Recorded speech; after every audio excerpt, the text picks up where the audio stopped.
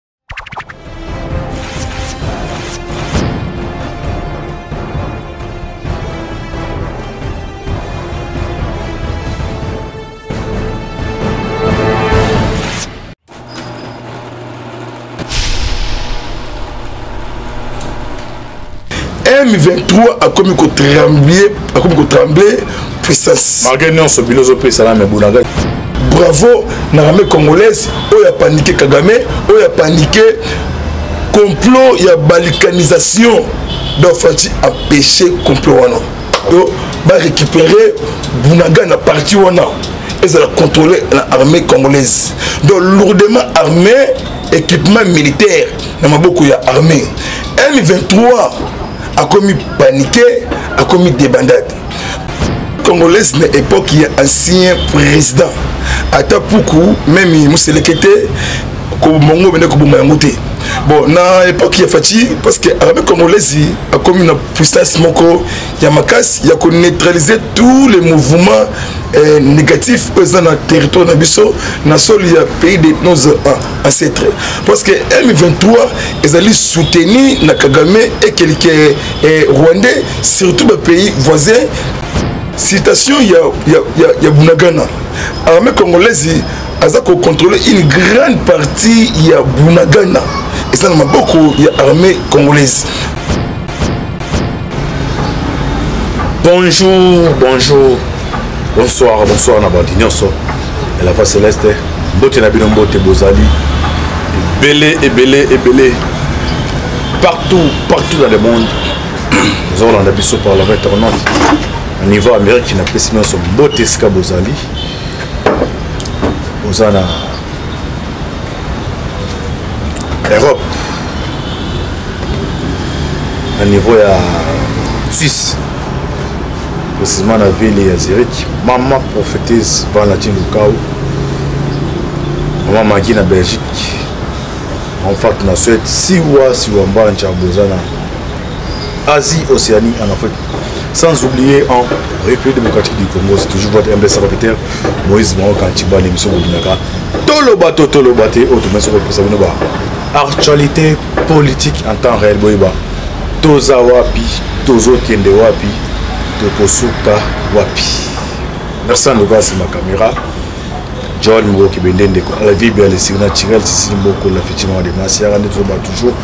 lola lola lola eza kofuta nsima tokoloba nzambe boye tokozwa ye wapi boprie mpo na monde boprie mpo na este na biso mpo na rdc bobosana mpe te koprie mpo na biso parce que sa nzambe me biso nyonso oyo tozovivre boye te ndenge tosina konta biso ya bino chaque fois kacao te ezalaka toexistaka te tokoya awa mpona kopartage moke oyo toza nango oyo ba situation politique sécurité tutu ya mboka na biso sur le plan international sur le plan national ezokendela wapi situation actuelle na est na biso na bona ghana entre frdc na ba m23 soutenu par le rwanda est ce que m23 avance bien barebele bakocontrole toujours poso bando controle tokolobela yango awa tokobela mpe sortie médiatique ya vital kamere oyo abi azosenga azolinga leadership oyo ezala leadership éclairé wana tokolobela yango mpe mais mingimingi ngambo wana face camera tokolinga mpe tosala baanalyse tobimisa mwa mayele toyeba situation eza wapi coopération bilatérale entre partenaire actuel na le nouveau partenaire azolinga ya wana tomoni partenaire actuel c'est les états-unis le nouveau moto azolinga eza russie ekomi na niveau nini tolaye procès électoral ya 2023 nde basujet oyo tokolobela yango lelo awa nazali ngai moko te soki tozali même langage na maboko ebele tokosala décryptage ya bielema oyo nati koenumere awa na mwana mama oyo azali moko ya ba communicateur ya parti au pouvoir idps ntuni ezala ya ngai bareponse ezala ye na repetaka medi fake non la voix celeste toloba to toloba te ezali crise ya démocratie yo ozotala yango oza na kinshasa oza na besoin oza moto alamuka oza mutu ya fcc oza besoin olekana awa oloba son de cloche oyo mosusu eza contraire bandono oyama awa plateau eza grandement ouvert mpo na yo donc yo moto otakisaka toujours ngai numero ezo bakomi toloba totoba te obengi na oyebi biso ndenge nini esali yango esalaka mpo olekana soki esengi ezala débat contradictoire boye mpo olekana nde oyo balekana boye opesa son de cloche na yo oza na bienvenu Mon amour, bonjour. Oui, bonjour ndeko Maoka Moïse. Bonne santé. Oui, ça me pèse bien na ngoma nzambe mes voix et déranger ngai parce que koloba chaque jour au sepumone devant peuple ko rassembler bango série politique ya mboka na biso bango tout sima ya Fatshi surtout sima ya armée congolaise oyo asala fierté ya nation eh, congolaise vraiment donc merci nanu na nzambe oyo likolo oyo aponaki Fatshi a diriger pays de nos ancêtres donc félicitations na tous les gomasiens oyo baza vraiment déterminé vraiment mpona kosilisa tous les bêtises oyo eza na territoire ya mboka na biso congo en tout cas vraiment tozali vraiment dans le bon mpo na lobi mpe sécurité na développement historique avec euh, 27 blocs pétroliers et 3 blocs gaziels Ok, merci à tous les Goma tracés ndenge mwana mwa toloba wana. Alors tobandi d'abord na dossier ya Est, situation actuelle ya Est, Bunagana, Mveto FARDC. Situation eza à niveau nini? Oui, merci de Mandeko Maoka Antibali Moïse, un grand journaliste Mopanzi ya Sango. oyo bandaka ye partout ambaka biso na émission na biso toloba toloba te sur la voix eh, céleste bon il faut koexplike bayi mboka oyo bandaka biso par ci par là parce que armée congolaise na époque ya ancien président ata puku meme moseleke te mongo bende koboma yango te bon na époque ya faci parce que armée congolaise akomi na puissance moko ya makasi ya koneutraliser tous les mouvements eh, négatifs oyo eza na territoire na biso na solo ya pays de nos ancêtres parce que m23 ezali soutenu na kagame et quelques eh, rwandais surtout ba pays voisin kaguta yoweri museveni président ya uganda bango toza na nsima ya m23 parce que citation ya, ya, ya, ya bunagana armée congolaise aza kocontrôle une grande partie ya bunagana eza na maboko ya armée congolaise parce que poste frontalier de cité de bunagana eza na maboko ya m23 nde armée na biso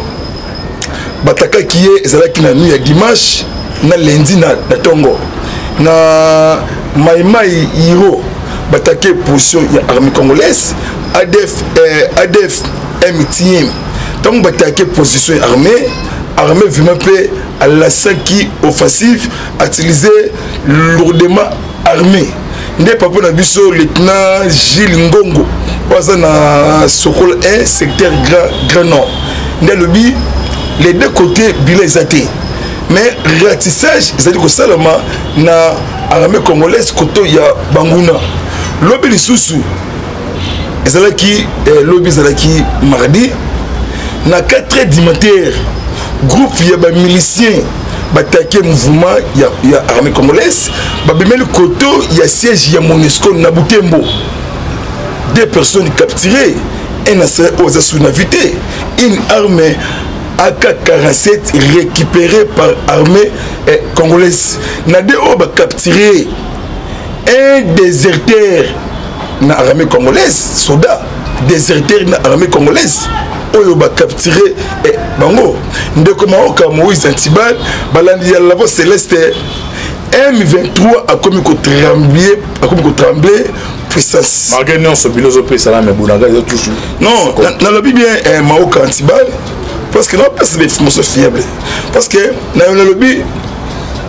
donc une grande partie ezali contrôlé na armée régulière donc poste frontalier oyo tobengi cité de bunagana ezali contrôlé na m23 lobi déjà armée na biso déjà balase message sikoyo sikoyo bazekite plan b mpo sikoyo barécupere bunagana parti wana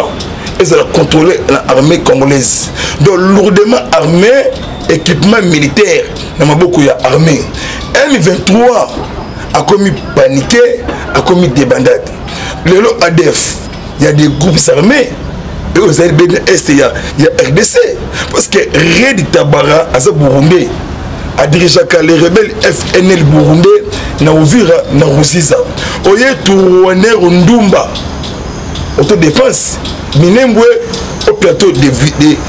de, de fils et un colonel déserteur na l'armée congolaise na 2019 na komo ya rukunda michel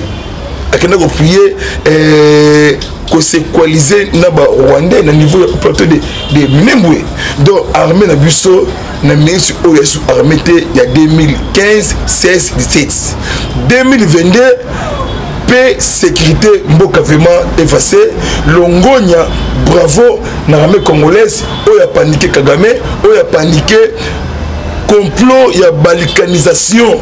donc fati empêche complot wana empêche complot wana pardon mm. alors fin de route oyo esinami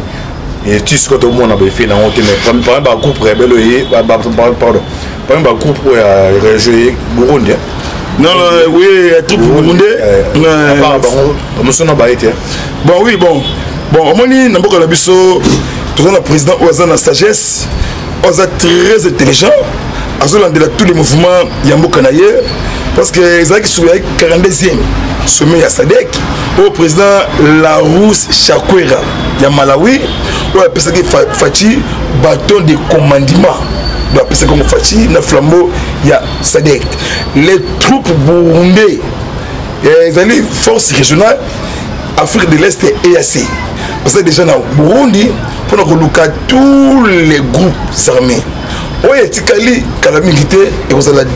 redeploye bango na est ya rdc na trois province ezalaki cible province ya ituri sud kivu na nord kivu oyo bakodeploye baforce régionale wana faci atramblise bato baprésident ya sadek ya afrique australe lelo oyo conscience bazongi na nzela mpona kosauve afrique peuple africain atambola ndenge alingi libre échange esalama na pays de nos ancêtres oyo tobengi république démocratique du congo république démocratique du congo alors tomoni émissaire ya états-unis ayaki awakei tisko tomona changement esalema te tobula so eumeli mwa moke nene bunagana ezala ekipeke na mapinga na biso ape ah, maponami eza koya tosila maponami 100 bandeko ya bunagana Euh, un émissaire ya Vladimir euh, euh, Poutine azalaki awa euh, na mboka na biso victor tokmokov ah, antonio blinken donc secrétaire d'état américain hypocrisie états-unis d'amérique na kati ya afrique parce que antonio blinken ayaki awa asali aéquilibré point de presse bango na christophe eh, lotundula napesi mbote esika azali ministre eh, des affaires étrangères na biso oza na diplomatie ya président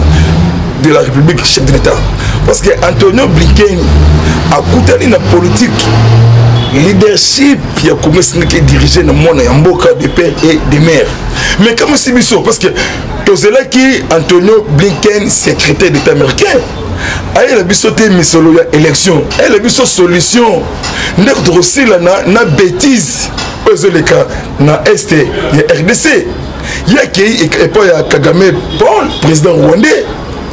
akei kuna koloba ke o oh, rdc batika kosoutenir fdlr ezali lokuta bagroupe armé tu wana dirigé par kagame paul nani ayebi te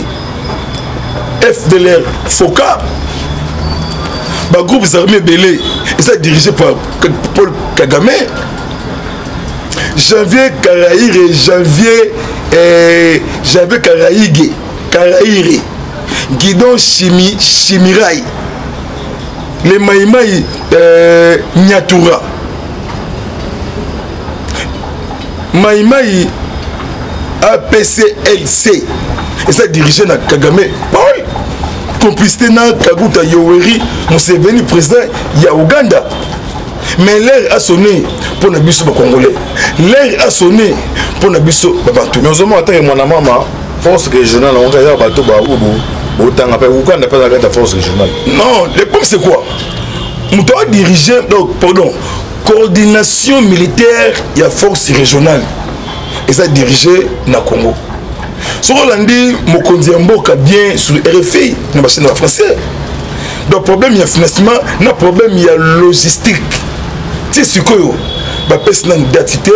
oyo bakokotisa le reste ya force régionale président akainde ishilema président ya zambie alobaki nini tous les membres ya tous les pays membres ya sadec basoutenir rdc tosangani awa mpo na sécurité soki sécurité eza te na bapays membre sadec ntina na yango eza te président cyril ramaphosa président sud africain alobi nini abi états-unis efa changer politique na ye ya deux poids deux mesures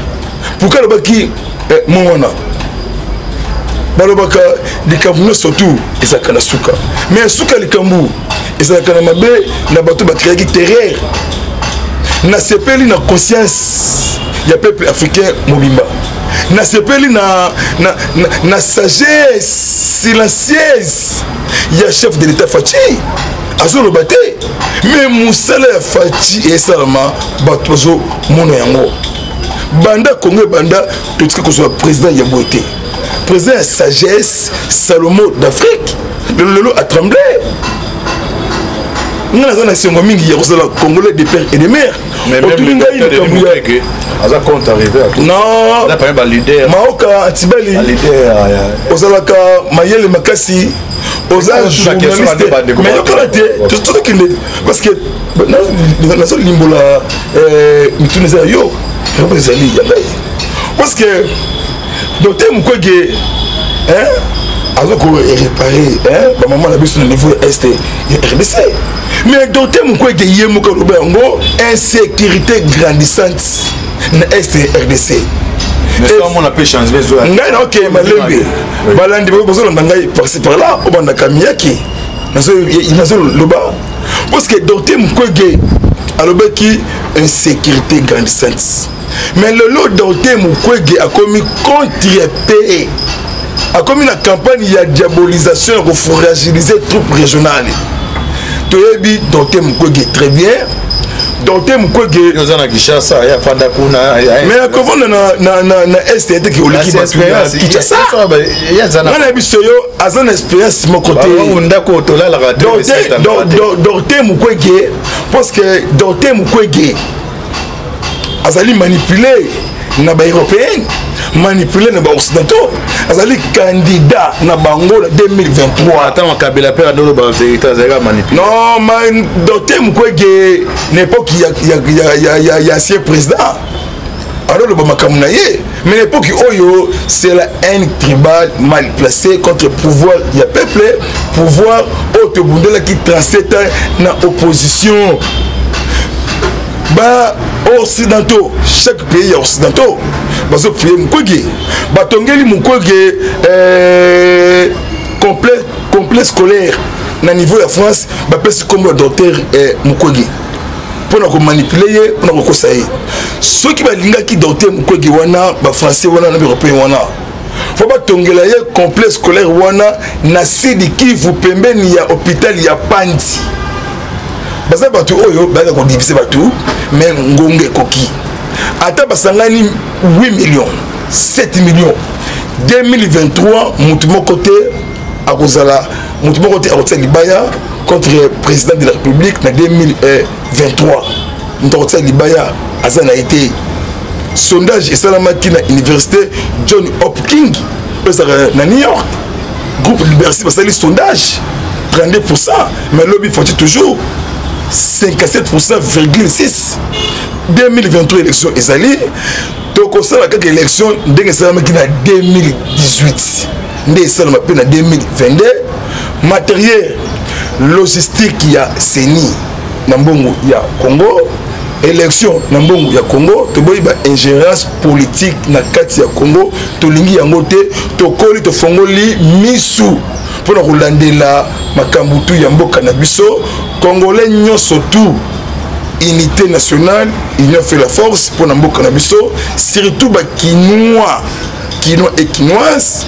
moment oyo tokoti eza moment te ya séparation moment ya unité biso biso tosimba ya président de la république ok merci sortie médiatique ya vital kamere alobi rdc ezanga leadership moko eza éclairé yo atake politique r ba leadership eza éclairé tosali tomonaka moto akokamba mboka donc cetadi kamere akobeta bino systeme ya abimi noki ya nkete boye o oh, soit disant abimaki boye bino bobimisaki mais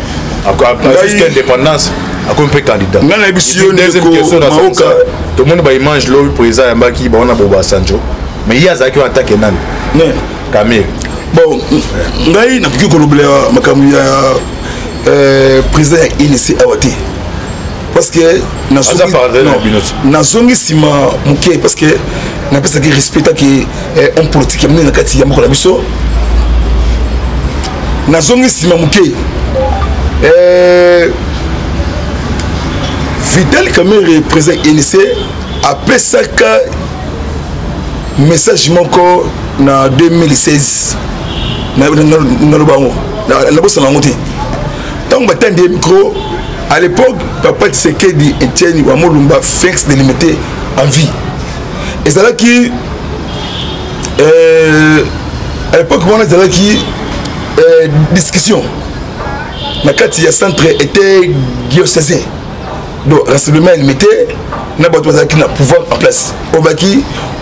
premier ministre akouta na rassemblement ntango bakoti na centre etat diocésain bato bajouaki médiation ezalaki ba sango donatien monseigneur donatien abe shole à l'époque wana euh, azalaki na époque wana donatien shole azalaki alobaki nini papa tisekedi apesi meilleur cadeau na peuple congolais eloko ya suka oyo eh, président inc vital kamere napesa na mboto esika azali alobaki nini alobaki papa simon kimbangu aloba prophesie mpo na congo yango esalami leadership ya congo esengaki dirige na fils du pays congolais de père et de mère mwana ya mboka oyo akosilisa babetise nyonso tu leadership ya congo esi epesama deja na maboko ya mwana mboka ya, ya, ya mwana mboka de père et de mère bakomplot nyonso tu bozali kosala bareunion nyonso tu bozali kosala contre président de la république chef d'état contre nation congolaise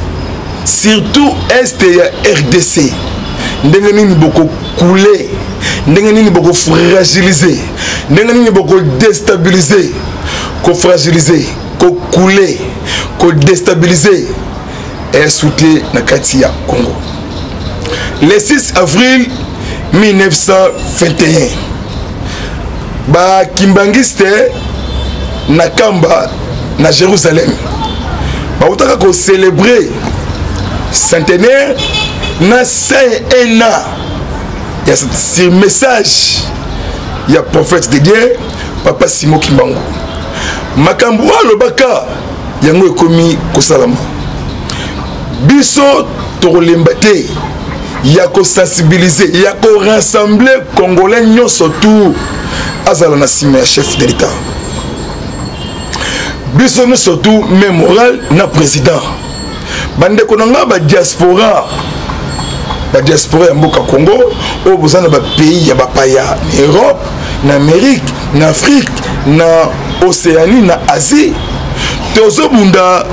komba moko bino libanda biso na kati manipulation tribalisme mal placé ezala biso mosika tosimba na la main dans la main loboko na loboko ndeko na yo congolais aza ndeko na yo akotika yo te moluba mokongo moswahili mongala tozali bacongolais de père e de mer makambo oyo esengaki mwana mboka asilisa masolo nzambe akosaka te victoire eza déjà assurée victoire eza na ngambu na biso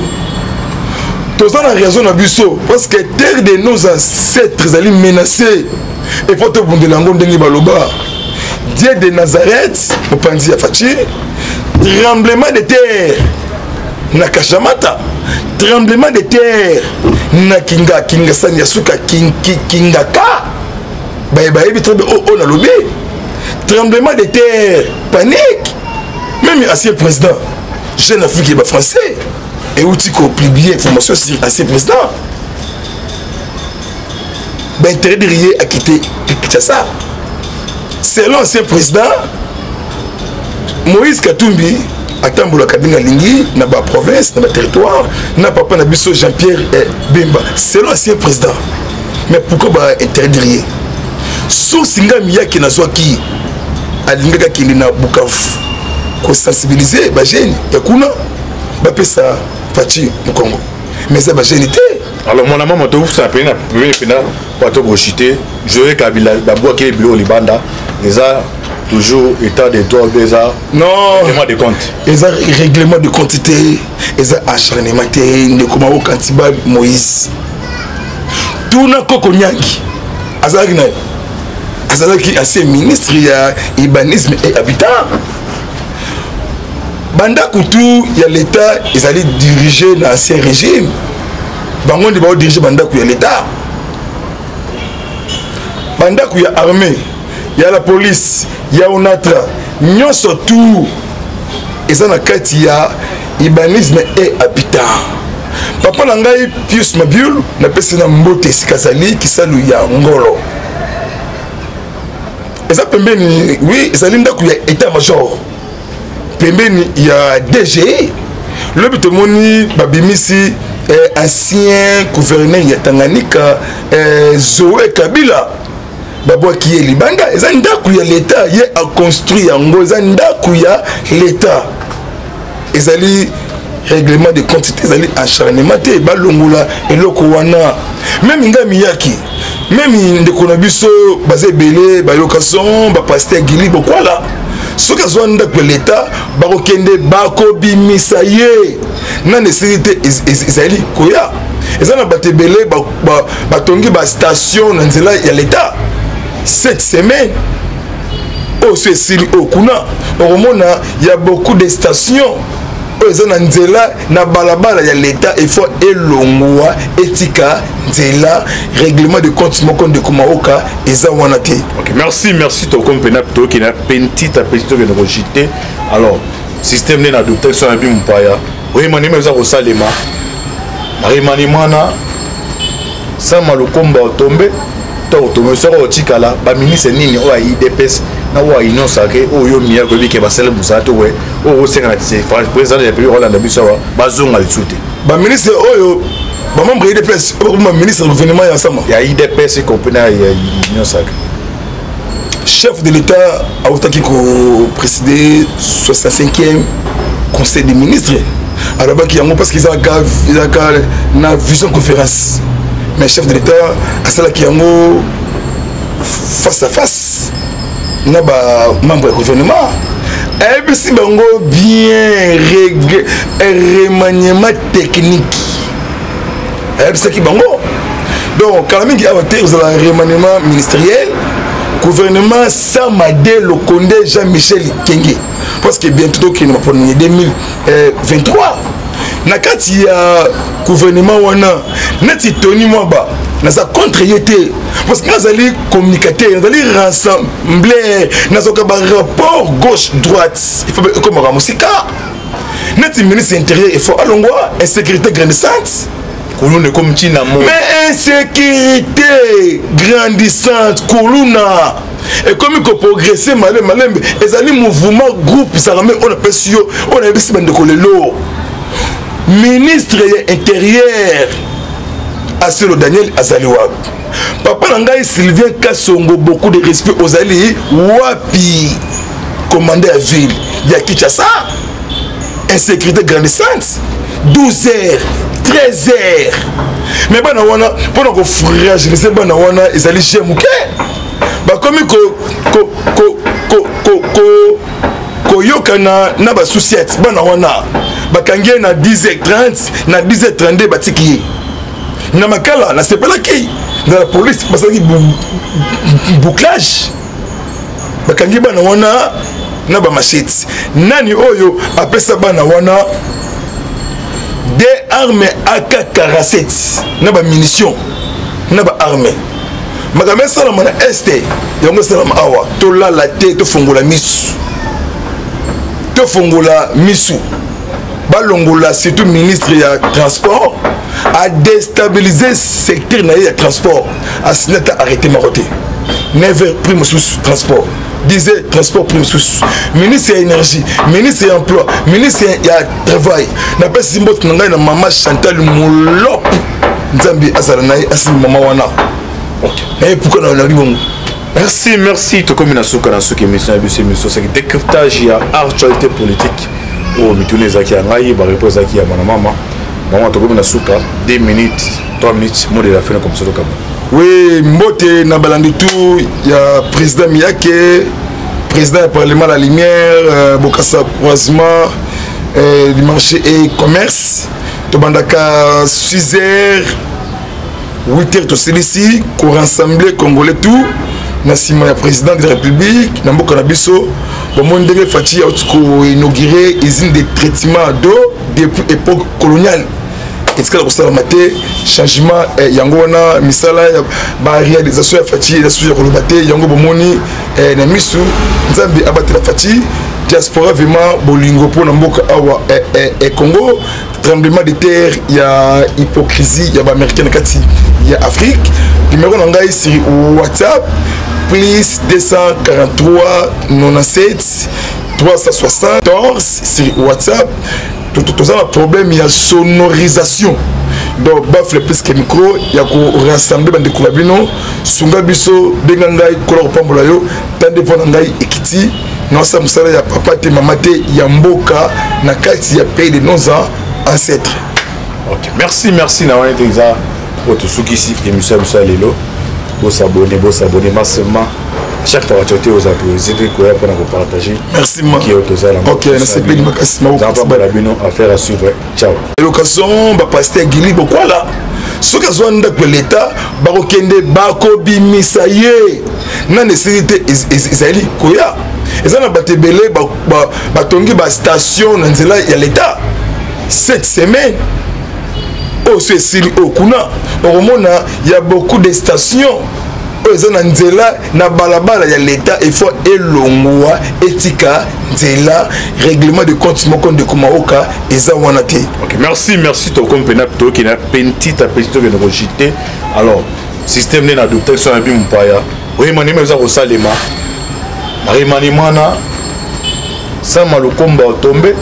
to otombe soko otikala baministre nini oyo ya idps na oyo ya union sacre oyo yo miya koyebi ke basali mosala to oyo osenga na président de la république olanda biso awa bazonga lisusu te baministre oyo bamembre ya idps oyo bakoma baministre ya gouvernement ya sama ya idps ekopena ya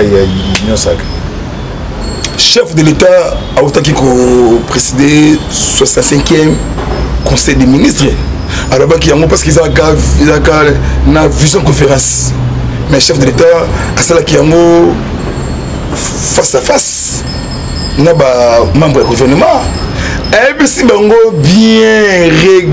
remaniement technique ayebisaki bango donc kala mingi awa te ozala remaniement ministériel gouvernement sans made lokonde jean michel kenge parce que bientôt tokende mapona 2023 na kati ya gouvernement wana neti tony mwaba naza contre ye te parce que nazali communicateur nazali rassembler nazwaka barapport gauche droite ekomaka mosika neti ministre intérieur efo alongwa insécurité grandissante kuluna ekomi ntina mo mais insécurité grandissante kuluna ekomi koprogresse malembe malembe ezali mouvement groupe armé oyo napesi yo oyo nayebisi bandeko lelo ministre ya intérieur asilo daniel azali wapi papa na ngai sylvien kasongo beaucoup de respect ozali wapi commande ya ville ya kinshasa insécurité grandissante 12 heures 13 heures mais bana wana mpona kofragilise bana wana ezali je moke bakomi koyokana na basusiete bana wana bakangi ye na 10 30 na 10 32 batiki ye na makala nasepelaki na la police basalaki bouclage bakangi bana wana na bamachete nani oyo apesa bana wana de arme ak 47 na bamunition na baarme makambo esalama na este yango esalama awa tolala te tofongola misu tofongola misu balongola surtout ministre ya transport adestabilise secteur na ye ya transport asili ata arrete moko te 9 heures prix mosusu transport disait transport prix mosusu ministre ya énergie ministre ya emploi ministre ya travail napesi mboto na ngai na mama chantal molop nzambe azala na ye asimbi mama wana naye puka na libongo